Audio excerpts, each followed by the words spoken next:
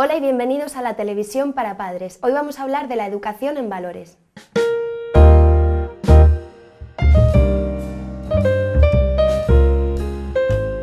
La educación en los valores es un tema que siempre ha sido clave en la reflexión de los padres y educadores, pero que en una actual situación del humanismo y de la realidad social en la que vivimos adquiere una muy especial significación.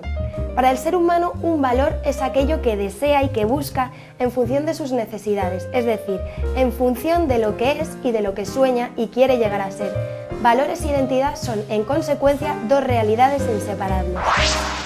Una formación plena que permita configurar la identidad del ser humano en crecimiento no puede desvincularse o prescindir de una seria y bien planificada educación en los valores.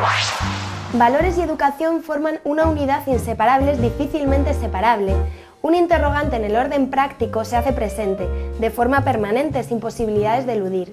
¿Qué valores? La respuesta a este interrogante dependerá del proyecto de autorrealización individual que cada ser humano hace de sí mismo y de su propia vida. En la etapa de educación infantil, dada la inmadurez del niño o niña en estos momentos, corresponde a los padres decidir los valores en los que van a basar la educación de sus hijos. Así, en la Declaración Universal de los Derechos Humanos, de modo expreso afirma que los padres tendrán derecho preferente a escoger el tipo de educación que habrá de darse a sus hijos. Artículo 26.3. En el mismo sentido, y no en menor grado, se recoge nuestra Constitución en el artículo 27.3. El fundamento de esta unanimidad internacional parece evidente.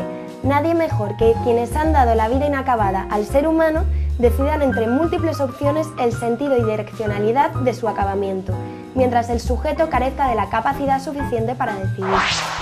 De hecho, el protagonismo de los padres y más en la etapa de educación infantil es insustituible. A ellos corresponde, como ya hemos indicado, lo mismo en la familia como en el centro escolar, el conjunto de valores que den sentido y finalidad a la educación integral de sus hijos, es decir, el conjunto de valores que perfeccionen todas las dimensiones del hombre.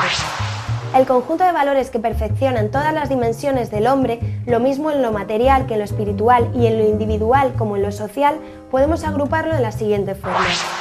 Los valores biológicos, como el alimento, la salud, correspondiente a la dimensión material o biológica del hombre, se presentan como necesidades primordiales cuya deficiencia acarrearía deficiencia de la misma educación. Los valores intelectuales, el conocimiento, la creatividad, el razonamiento, etc., originan el mundo cultural al cual el niño o niña tiene acceso por medio de la selección y valores de sus padres. Los valores ecológicos, el cuidado, respeto y aprecio del medio en el que se desenvuelve la vida es un aspecto ineludible desde los primeros años de vida. Los valores morales, el respeto, la tolerancia, la solidaridad, la verdad, son los pilares de las relaciones afectivas con el mundo y con los demás.